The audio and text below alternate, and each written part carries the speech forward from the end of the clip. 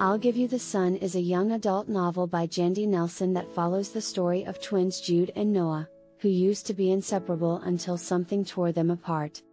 The book is told from both of their perspectives, with Noah narrating when they are 13 years old and Jude narrating when they are 16 years old.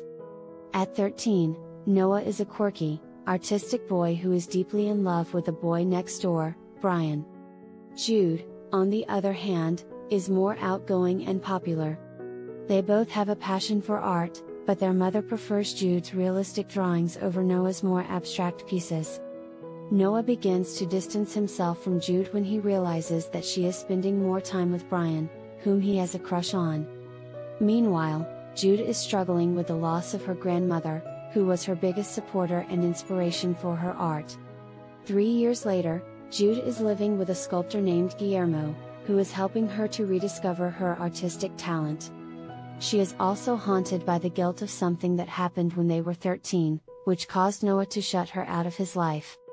Meanwhile, Noah is attending an art school, where he has fallen in love with a boy named Oscar. He is still struggling to come to terms with what happened between him and Jude. As the story unfolds, it becomes clear that the event that caused the rift between Noah and Jude was the death of their mother, who was killed in a car accident. Noah blames Jude for their mother's death because she asked her to take her car that day, while Jude blames herself for not being able to save her. They both have been keeping secrets from each other, but as they begin to confront their issues, they realize that they need each other to heal. I'll Give You the Sun is a beautiful exploration of the complex relationships between siblings, the power of art to heal, and the importance of forgiveness.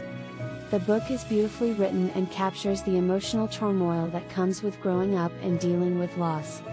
The characters are well developed and relatable, and the use of dual perspectives allows the reader to see how each character's experiences and emotions shape their perceptions of the world around them.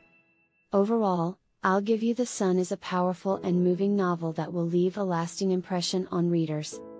It is a story about love, loss, and the importance of being true to oneself, even in the face of adversity.